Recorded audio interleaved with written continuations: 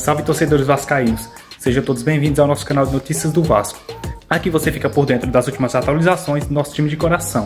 Eu sou Jacó e vamos com as últimas notícias do Vasco. O atacante Figueiredo, jovem talento de 22 anos, parece estar próximo de deixar o Vasco ainda este ano. A informação foi comunicada ao técnico Ramon Dias, que agora precisa lidar com essa decisão.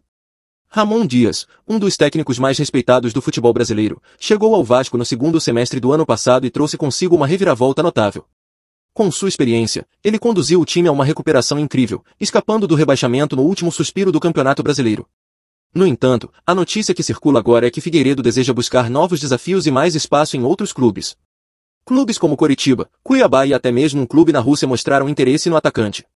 É evidente que, sob a batuta de Ramon Dias, as oportunidades para Figueiredo no time podem ser limitadas, e a busca por um novo horizonte se torna compreensível.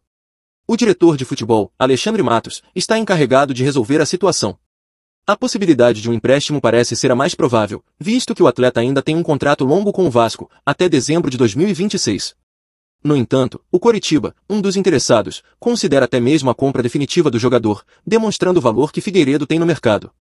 Figueiredo, com seus 22 anos, tem um futuro promissor pela frente.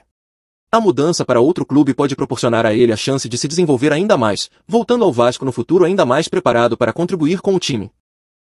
E agora chegamos ao fim da notícia. Espero que tenha gostado. Ah, e não se esqueça de se inscrever no canal e ativar o sininho de notificações. A qualquer momento eu atualizo com mais notícias do nosso gigante da colina. Fique ligado.